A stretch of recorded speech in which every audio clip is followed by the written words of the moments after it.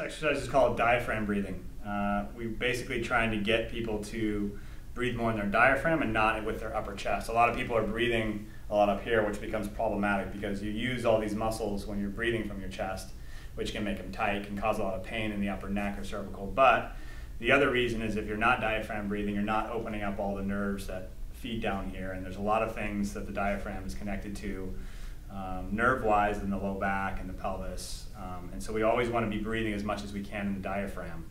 Um, we can get lots more air in. It's much better for um, preventing neck tightness and lots of other benefits. So this is a great thing to practice. A lot of people are not good at it. It's just because their brain doesn't understand how to do it. And you can you can teach this to yourself fairly simply in a couple weeks. So you're going to put one hand on your lower stomach and one hand on your upper chest Lie flat with your legs flat. You're going to breathe in through your nose, deep, and out through your mouth. And you just want to have this hand only move. And what, what I tell clients is we want to try and get fat while you're doing it. The stomach will just get really big, and sometimes people can cue this hand moving by trying to get fat. So you don't want this hand to move at all. If it does, it's very minimal, and it's at the very end of the breathing. Um, you can practice this even sitting if you'd like. It's a lot easier when you're lying down.